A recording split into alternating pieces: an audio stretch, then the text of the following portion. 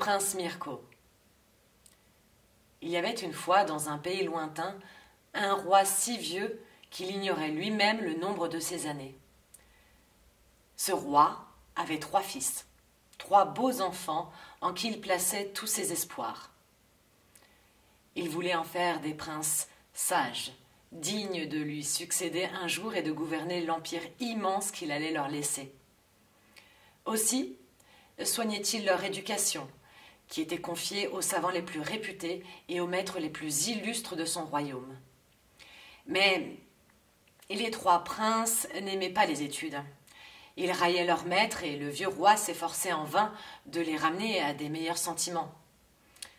Un jour, découragé et courroucé, il se retira dans une petite pièce située dans l'aile orientale de son palais en interdisant à ses fils de paraître à ses yeux. Lui-même passa désormais toute sa vie dans cette petite pièce de son palais. Il était assis, nuit et jour, devant la fenêtre, le regard tourné vers le levant. Il pleurait éternellement d'un œil et riait de l'autre.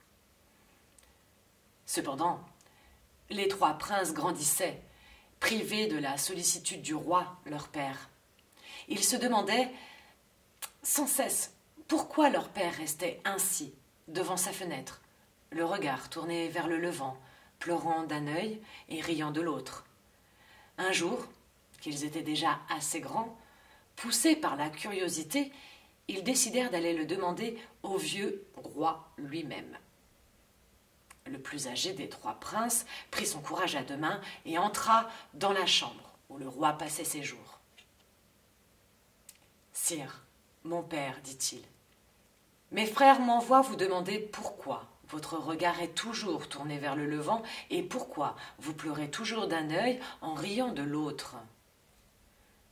Sans répondre, le roi le dévisagea, saisit le lourd glaive qu'il avait devant lui, dans l'embrasure de la fenêtre, et le lança vers son fils, avec une telle force que le glaive entra dans la porte jusqu'à sa poignée. Le prince eut tout juste le temps de se sauver d'un bond. Aussi ne demanda-t-il pas son reste et courut vers ses deux frères. Ceux-ci eurent beau lui demander quelle était la réponse du roi. L'aîné se contenta de leur dire d'un air mystérieux Allez-y vous-même, et vous la connaîtrez. Le second prince alla donc tenter sa chance, mais il eut le même sort que son frère. Ce fut le tour du plus jeune des princes, qui s'appelait Mirko. Il entra dans la chambre de son père et dit le but de sa visite. Le roi prit encore son glaive énorme et le lança si vigoureusement vers Mirko qu'il s'enfonça jusqu'à sa poignée dans le mur de pierre de la chambre. Mirko ne s'en fut cependant point. Il se contenta d'esquiver le coup, puis retira le glaive du mur et le déposa respectueusement devant son père. Alors le vieux roi parla enfin. Je vois, mon fils, que tu es un peu plus courageux que tes frères. Aussi, voici ma réponse à la question que tu m'as posée. Je pleure d'un œil parce que j'ai du chagrin à cause de vous trois, qui êtes si peu dignes de me remplacer sur le trône et de gouverner mon empire. Je ris de l'autre œil parce que je pense à mon bon camarade, le chevalier Dupré, qui était toujours à mes côtés dans les batailles quand nous étions jeunes. Il m'a promis de venir me voir quand il aurait tué tous ses ennemis pour que nous puissions passer notre vieillesse ensemble. Je l'attends toujours. C'est pour cela que je suis toujours à la fenêtre, le regard tourné vers le levant. Mais le chevalier du pré habite la prairie aux herbes soyeuses. Ses ennemis poussent tous les jours comme l'herbe.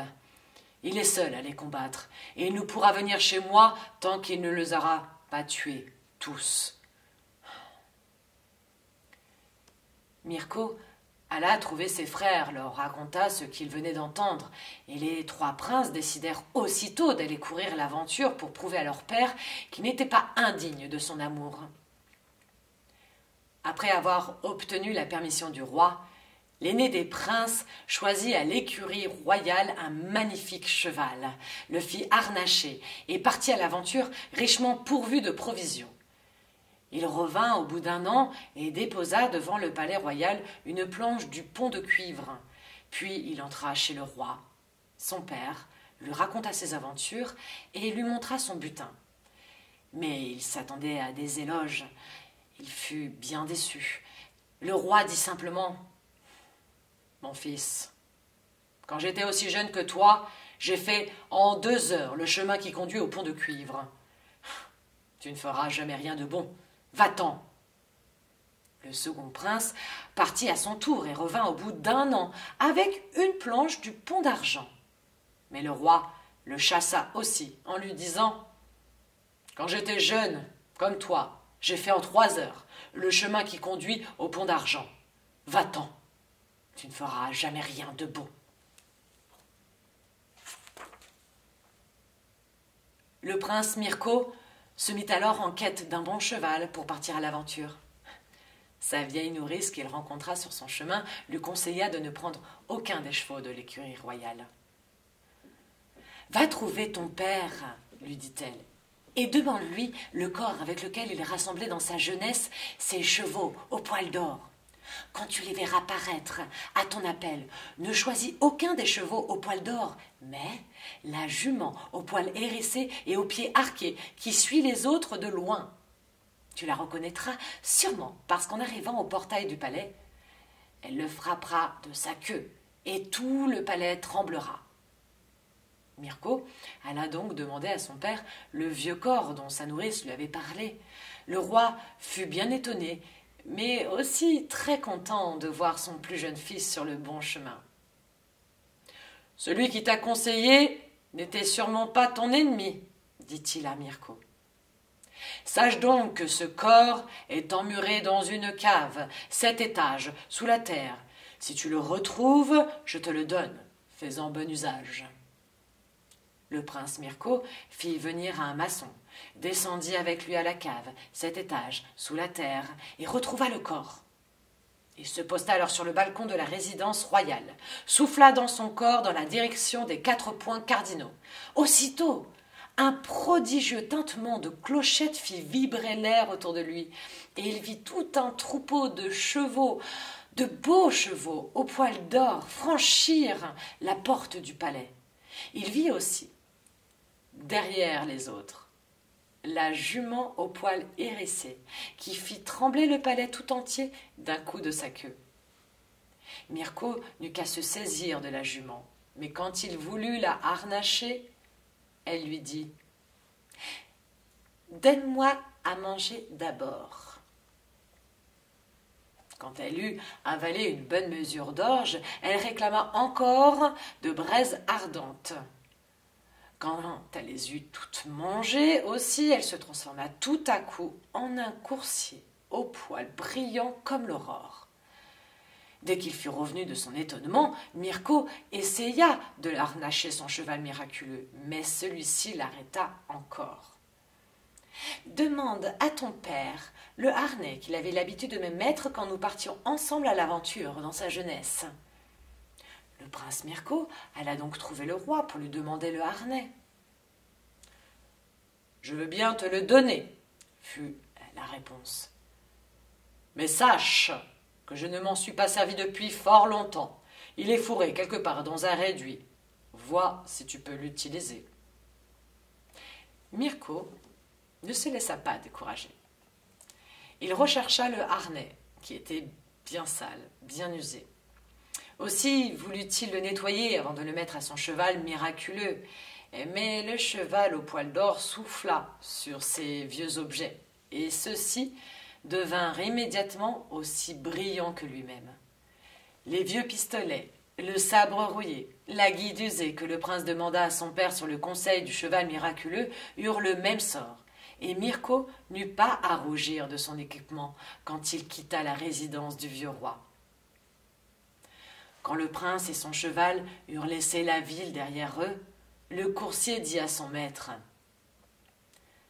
Mon maître bien-aimé, comment dois-je t'emporter? Avec la rapidité de l'ouragan ou avec la rapidité de la pensée? Vole aussi vite que tu voudras, répondit Mirko, pourvu que je ne tombe pas. Alors, ferme les yeux et tiens-toi bien. Là-dessus, le cheval miraculeux prit un élan formidable, emporta son maître avec la vitesse de l'ouragan, et au bout d'un instant, il frappa le sol de son pied. Ouvre les yeux, maître bien-aimé, et dis-moi ce que tu vois.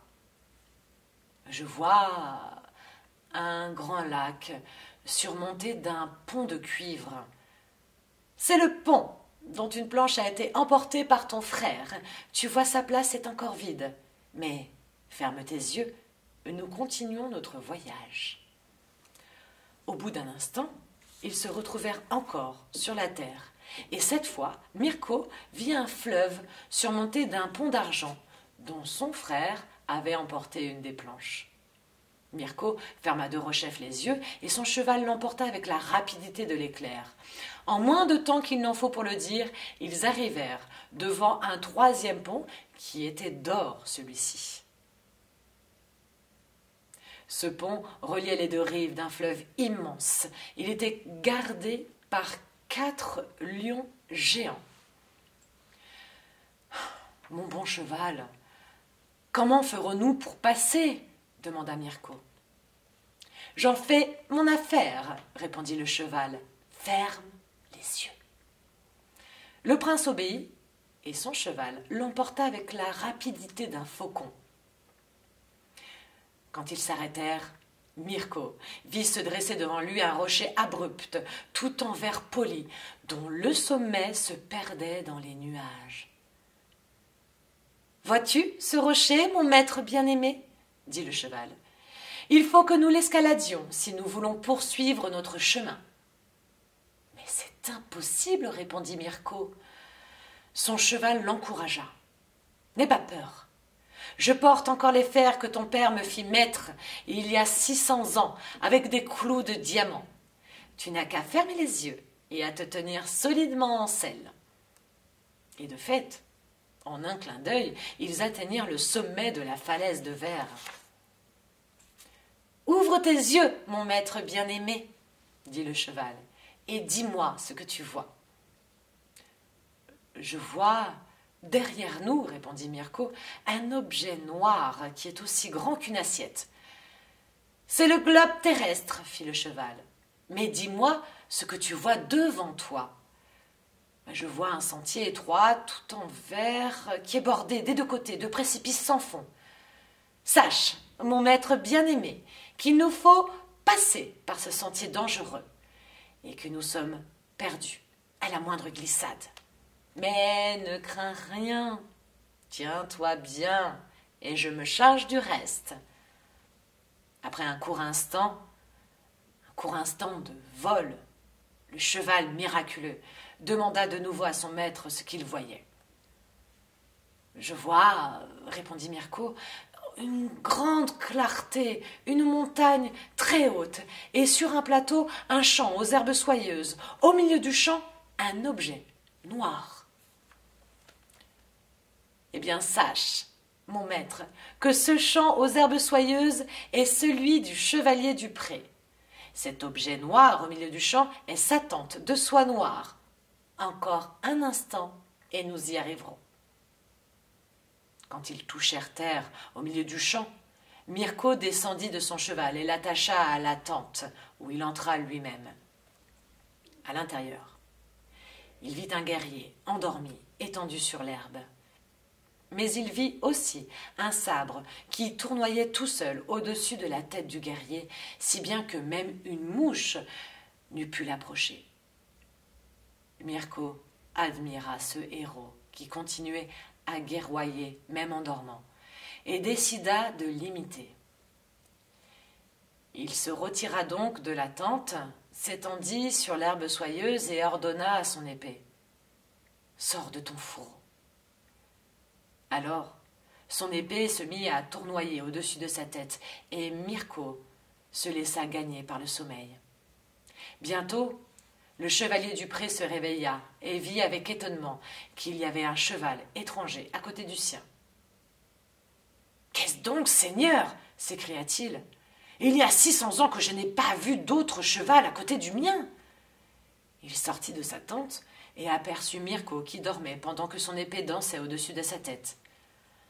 Il le secoua pour le réveiller et lui demanda ce qu'il venait faire dans ce pays. Quand le prince eut raconté par le menu ses origines et ses aventures, le chevalier du pré l'embrassa joyeusement. Ton père est mon bon compagnon, lui dit-il. Et je vois que tu es un héros, toi aussi. Tu arrives juste au bon moment. J'ai grand besoin de toi.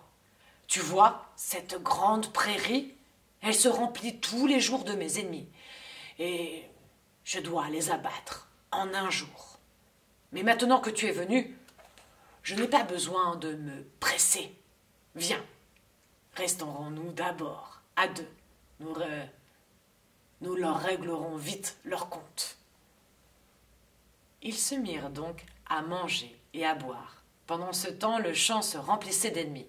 Menacés jusque dans leur tente, les deux guerriers montèrent à cheval et abordèrent hardiment l'adversaire. À leurs cris Épée Sors de ton fourreau Leurs épées s'attaquèrent aux ennemis et les décapitèrent les uns après les autres. Il ne restait que douze combattants de l'arrière-garde qui prirent la fuite. En les poursuivant, Mirko et le chevalier du pré arrivèrent devant une haute falaise, tout en verre poli, où tout à coup, les douze fuyards disparurent dans un trou. Le cheval de Mirko y entra d'un bond avec son cavalier. C'était l'enfer. Regardant autour de lui, Mirko découvrit un éblouissant palais de diamants qui était le soleil de ces lieux. Les douze fuyards allaient justement rentrer dans ce palais. Mais Mirko les rattrapa et leur coupa la tête d'un seul coup. Il entra alors dans le palais, où il fut reçu par un bruit assourdissant. Guidé par ce bruit, il finit par découvrir une vieille sorcière assise devant un rouet qui faisait tout ce bruit. Le palais était de nouveau rempli de soldats et Mirko comprit que ces soldats sortait du rouet de la vieille.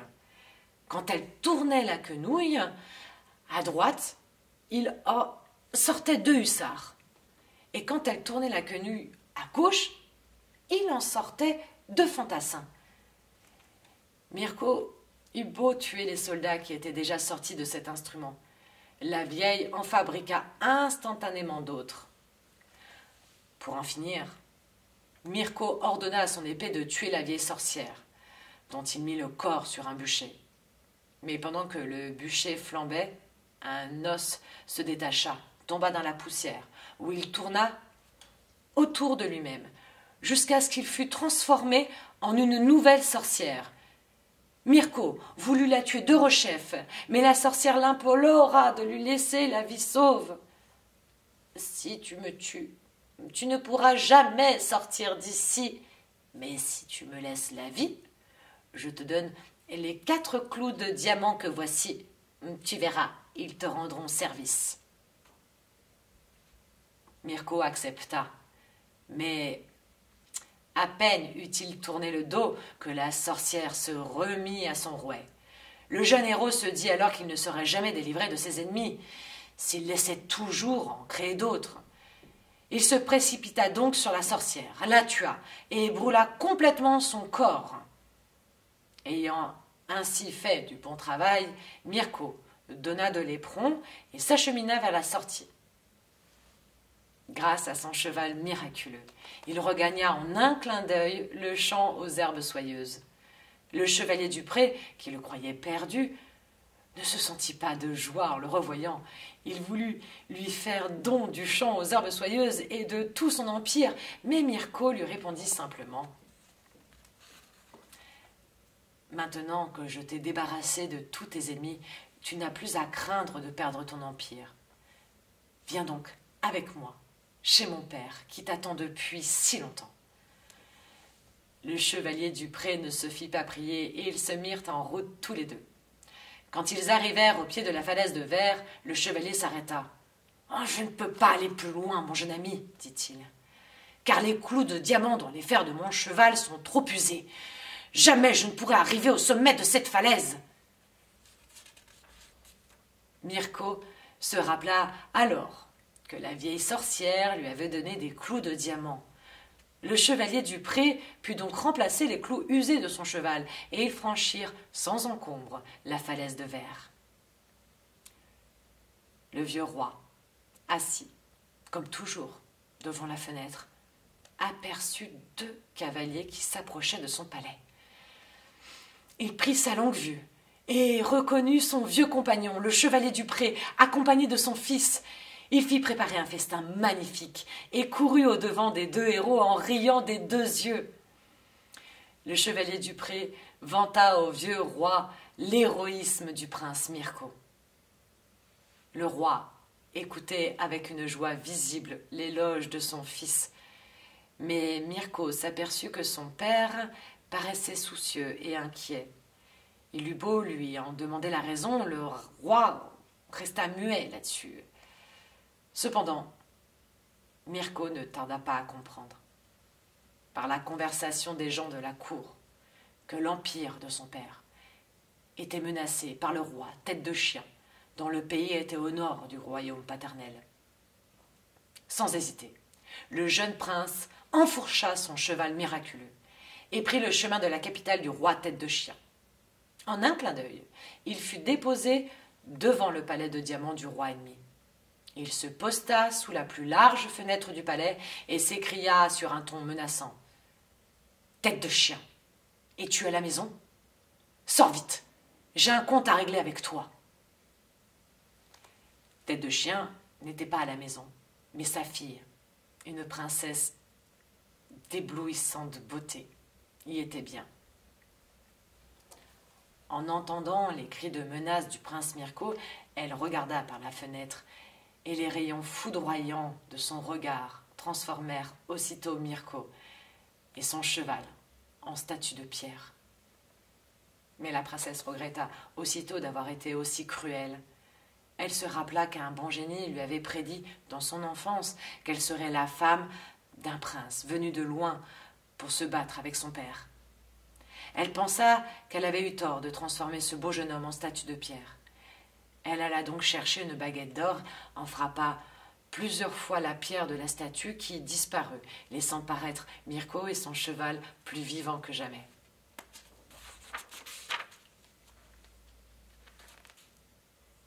Qui es-tu donc Et quel bon vent t'amène? demanda-t-elle alors au prince. Mirko lui répondit qu'il était le fils roi, et qu'il venait en prétendant à la maison du roi tête de chien. La princesse l'introduisit alors dans le palais de diamant. Mirko lui plaisait beaucoup. Elle lui offrit un repas splendide. Au cours du repas, elle le pressa d'avouer le véritable but de son voyage. Mirko finit par lui dire qu'il était venu pour se battre avec Tête de Chien, ennemi de son père. N'en fais rien, dit la princesse. Mon père est l'homme le plus fort du monde. Personne ne pourrait le vaincre. Mais Mirko ne se laissa pas convaincre. Alors la princesse n'eut plus qu'une pensée sauver le beau prince. Si tu veux vaincre mon père, lui dit-elle, descends à la septième cave du palais. Tu y trouveras un tonneau non scellé. C'est là-dedans que mon père garde sa force. Prends ce flacon d'argent, trempe-le dans le tonneau, mais ne le bouge pas. Quand tu l'auras rempli, suspends-le tout ouvert à ton cou, et chaque fois que tu sentiras tes forces s'épuiser, trempe-y ton petit doigt. Aussitôt tes forces s'accroîtront de celles de cinq mille hommes. De temps en temps, porte-le à tes lèvres, car chaque goutte chaque goutte de son contenu te donnera la force de cinq mille hommes. Mirko la remercia de ses bons conseils et descendit à la cave chercher le tonneau enchanté. Il le trouva sans difficulté, remplit son flacon et versa le reste de son contenu par terre pour que le roi, tête de chien, ne pût en profiter. Ainsi préparé, il remonta auprès de la princesse.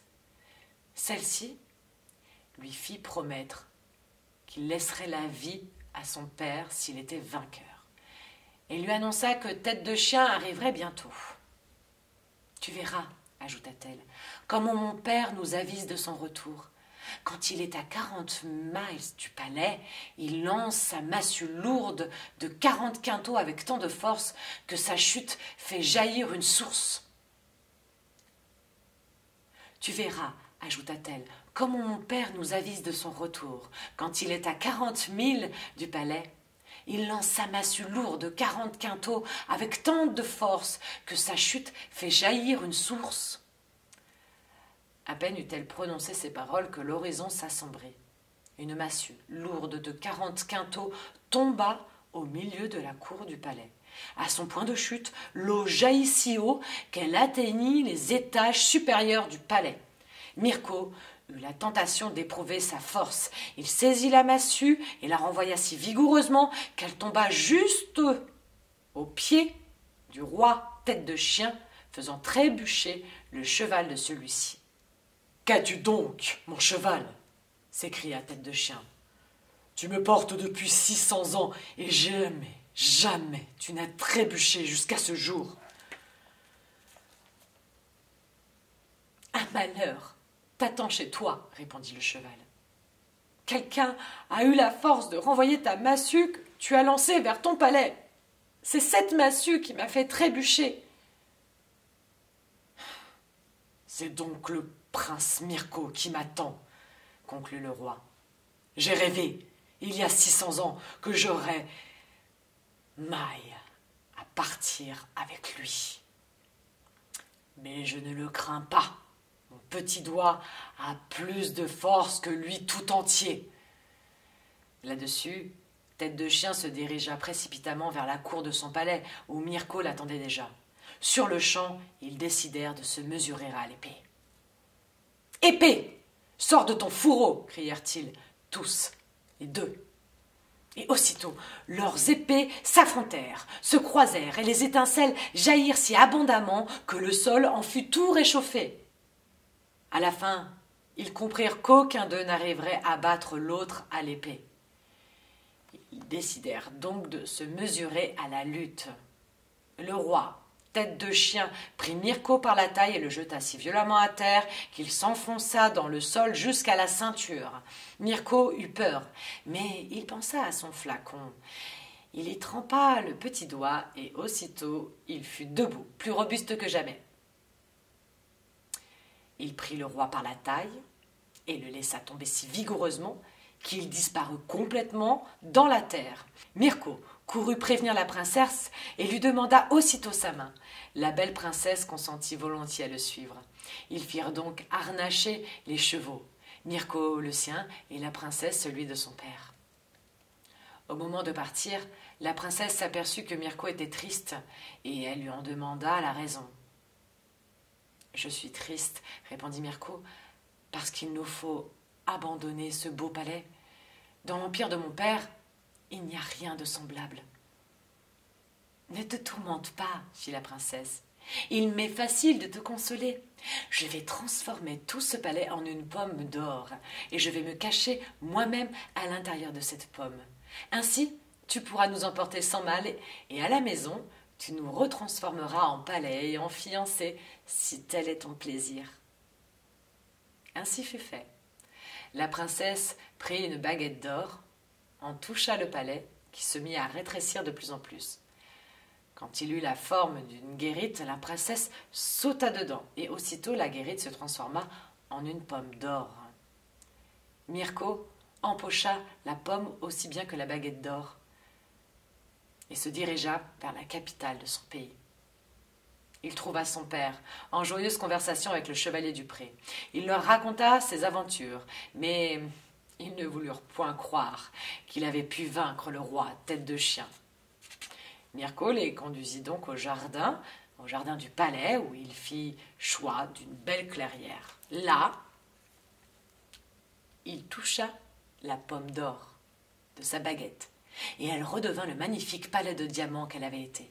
Alors Mirko prit son père par le bras et monta avec lui, ainsi qu'avec le chevalier du pré, l'escalier de diamants.